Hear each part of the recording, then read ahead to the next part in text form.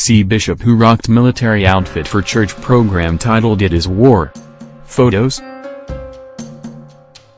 A Nigerian pastor has been captured in church rocking head-to-toe military outfit for a military-themed program titled It Is War. The pastor identified as Bishop Tom Sampson, was captured standing in front of his congregation wearing head-to-toe camouflage outfit. Naij. Com came across the photos of the bishop after it went viral on social media. In the photos, the bishop could be seen preaching in a military-style customized hall, where a customized armored tank was used as a replacement for the podium.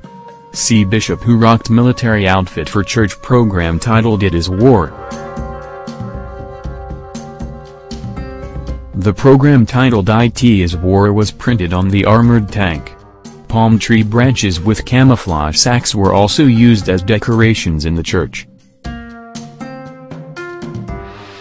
Palm tree branches with camouflage sacks were also used as decorations in the church.